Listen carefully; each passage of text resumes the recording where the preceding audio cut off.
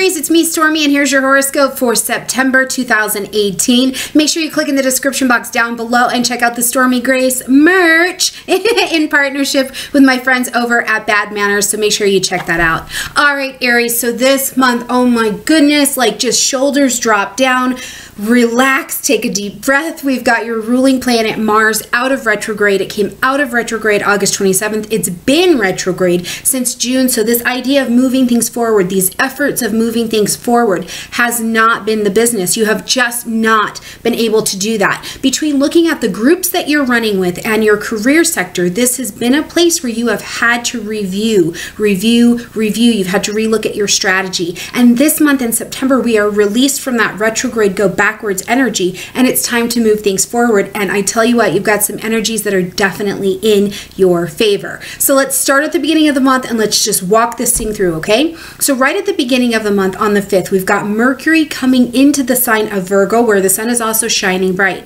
Remember where the sun is at, this is where we want to express ourselves. This is where it says, hey, I've got light, heat, um, life, and vitality happening here. Mercury joins that energy and we're thinking, we're speaking, we're communicating, we're going over these things. Now, this is lighting up your sixth house. So, this is again a place of work, right? This is a place of work, but it's also for you, Aries. And I think it's very important in September and through the rest of the year for you to keep in mind that the sixth house is not just about work, right? It's career, it's, um, freelance work, if you are an employer and you employ people, yes, that's all in here. But it is also about your mental health, especially what's running around up here. What is happening to your health up here, Aries? This is something that you're going to need to take note of because you are no longer in the phase of life where you can just put your head down and ram through it. That is the Aries way. I will just put my head down and ram through this, and that won't work. You've been required to do some changing and letting go. So hopefully you've been able to see that and get a new strategy around that. Now, with Mercury Mercury, with Mercury and the Sun here, it does light up some beautiful potentials for work, but it also lights up opportunities for health, for fitness, for daily routine,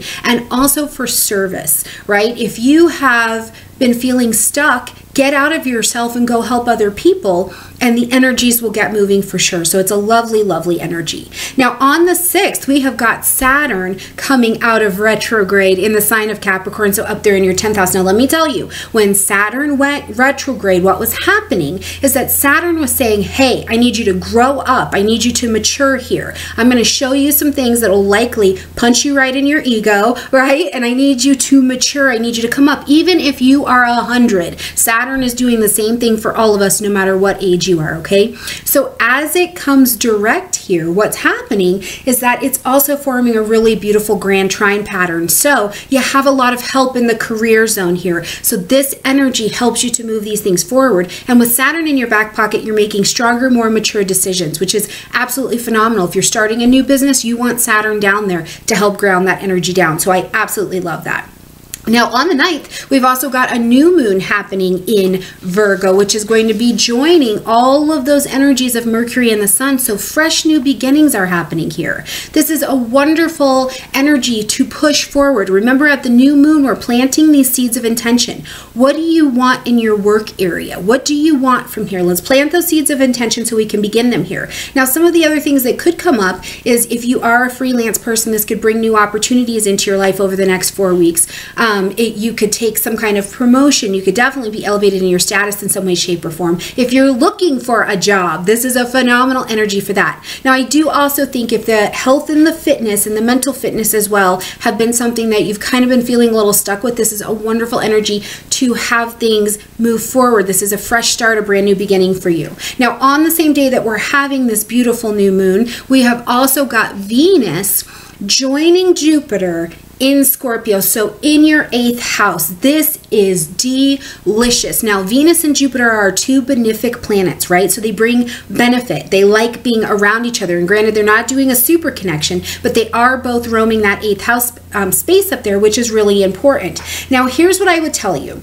The eighth house is about joint resources. So the first thing I think of is I think of intimacy. Any place where you are jointly connected to someone else creates intimacy, right? This could bring a change to your sex life. This could bring a change to your intimate life with your partner. Now, your partners can also look like your business associates, maybe a mentor you've needed to go to to get a little help or guidance, right?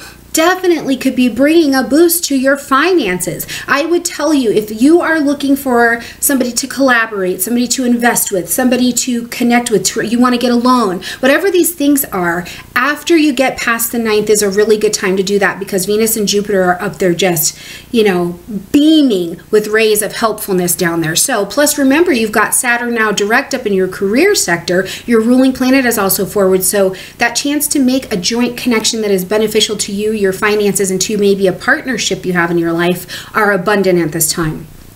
Now on the 11th, we've got your ruling planet Mars moving out of Capricorn, moving back into Aquarius, which this is where I want to just really point your attention and your action this month, okay? With Mars and Aquarius, this lights up the 11th house space, and what it's saying to you is you've got to look at who you're associated with. Who are the five friends that you're running around with? Who's your social group? Who's your network? You know, online, is your, um, are your profiles updated? Even if it's, you know, just in the social medias, can people find you, right? Are findable? Are you connected in some way where the dreams that you want to move forward, people can help you achieve that? Aries, it is people that are going to help you make your next moves. And this is a really important month for that. Now, I do think with Mars and Aquarius right now, or moving into there as well, it could be a time where if there are friendships or associations that are not as aligned with you as they need to be, some of them could be falling off as well. And you may just be making that decision because you're maturing, you've got a different purpose this month, and I think that you know that heart and soul. So I love that for you. Now, on the 12th, we've got Jupiter in a sextile to Pluto. This is, again, you guys, some energy that I absolutely love because from here on out, it's like success positive change. Pluto wants to transform. Jupiter wants to bring wisdom and opportunity. You put these together in a sextile, and when the planets have sex, that's good for us, right? Because you will intelligently use and take advantage of an opportunity here. So between your eighth house and your 10th house, you've got a joint resource in your career and soul level calling zone, even if you're retired. Someone is likely rolling into your world trying to connect with you to give you purpose to take out into the world. And this is success, personal growth, I love all of it, okay? Now, when we get to the 18th, here's the time. This is the pinnacle of this energy, but you've actually got this going for a few weeks. Um, we've got Mars, who's now up in Aquarius in your 11th house, in a square to Uranus, who's in your second house. So this is a this is an an energy that actually will last until the 28th of this month. And what I want to tell you about that is that this is a break-free energy, right? This is a break-free energy. You're not going to want to be held down. Um, you're you're not going to want to take any any tacos from people you know? Do no harm but take no shit is pretty much what this comes down to for me with you. Somebody could be you could feel like even it doesn't have to even be real okay? You could feel like something or someone is trying to hold you back right? You could be having issues with social ideas out in the world, right? And it's standing in your way. But the thing I think, instead of using this to be impulsive and rash and do something that is actually going to cause you issues, because I'm telling you, Mars and Uranus together in a square is a warring energy, and you kind of are a warring energy yourself. Don't get caught up in it. Instead, look at this. Mars is over here in your social zone. Uranus is saying you had better do it different or we are not going to be able to make progress. You have got to see our value different, right? That's what you can use this for. Where can you make these adjustments here? This is a wonderful energy for that. So please keep that in mind. Don't get caught up in the minutia. It, and remember that it lasts until the 28th, okay? Now, on the 22nd, we're coming into a new season. We've got the autumn equinox. Ah, that's very exciting because remember, in Western astrology, we follow the seasons, not the constellations. So, this is again, September is like fresh start city, right? So, this is a phenomenal new season. We're going to shift gears a little. We're going to slow down. We're going to cool down just a little bit, right? But in the slow and in the cool, you've got every tool in your warrior's backpack you need to push push forward, to be successful at pushing forward. So, welcome to your new season as of the 22nd. On the 23rd, the sun moves into Libra, so we're going to start to light up partnerships. Okay, now remember, these partnerships are not just romantic partnerships, but certainly the sun here may be helping you refresh a commitment to a partner. This could be a business partner as well, or a, a refresh a commitment to yourself because the relationship of you with you, especially with Chiron and Aries, you've been getting real different Aries, like these layers of of who you think you have to be have just been peeling beautifully, and you're coming out and showing us this different warrior. I absolutely love it. So I think this is a, a beautiful energy to help support that partnership. Then on the 24th, we've got the full moon happening in your sign right here in Aries. Now, this also has a very heavy Saturn influence to it, okay? Now, what I love about that is that the full moon says that something has to be ended, acknowledged, or adjusted. So we're going to have a shift. You're going to have a shift at the end of the month. And typically, let me tell you, when the full moon lands in my sign, I don't have a problem telling people how feel about some things. It's usually very tactful, but I become aware of some things that are not working. I become aware of some things about me that are new and are different and are ready to be expressed and you could very much so i think be having this experience but what i like about the energy here is that it's grounded so i think whatever you're realizing you're almost realizing it in the way aries that says this this last version of Aries has to die off if the next version of Aries is going to live and be successful. And what you may be running into with this moon as well, um, and I'll talk about it in the full moon video, is that Chiron is also in your sign. So you could have some ideas from childhood that you are shedding. These ideas of what, what it meant to be a man, what did it mean to be a woman. You could be letting some of those go because they don't actually fit the projection that you have now. And you know that because you're moving yourself in a different direction. And these cosmos are helping you do that. It's gorgeous.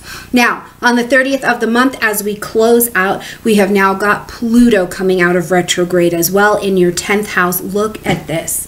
I mean, just all systems are a go. Pluto out of retrograde. Now, remember, both Saturn and Pluto are going to say, hey, did you have you been working on this career and soul level purpose section uh, while we were asleep? We gave you five months to be working on this. Are you doing something? Have you done something with it? Because I'm about to show you how bad you are, right? So it's a gorgeous energy.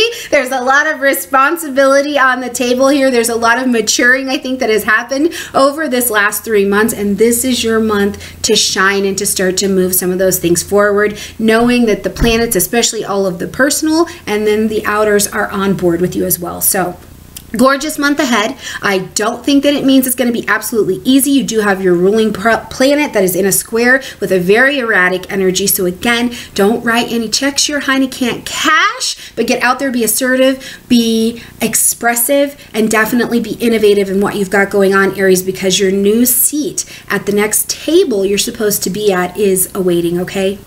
I love you guys so, so, so much. If you need a reading, come visit me at stormiegrace.com. And if you don't need a reading, thanks for watching so much. Really believe that. Like this video, comment, share, subscribe, and I will see you next month. Bye, guys.